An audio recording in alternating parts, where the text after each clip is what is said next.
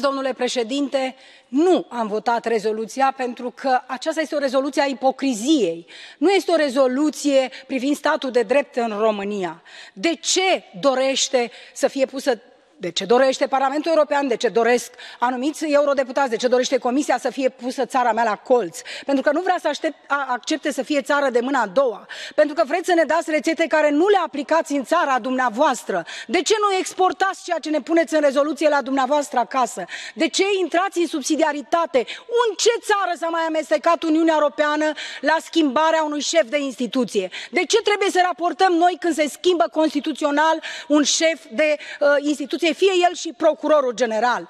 s a creat o criză s a creat o țară a procurorilor lăsați ne în pace vrem să ne apărăm cetățenii vrem să se respecte tratatul noi românia nu am încălcat tratatul în schimb uniunea europeană încalcă tratatul și regulamentul schengen. nu ne lăsați în spațiul schengen deși nu avem garduri nu avem jurnaliști omorâți corupția nu noi suntem nu românia este în grupul celor nouă state în care acum este cea mai mare corupție din istoria uniunii europene. de ce nu se aplică aceeași unitate de măsură. sunt revoltată și consider că este o nedreptate pentru țara mea și pentru cetățenii mei.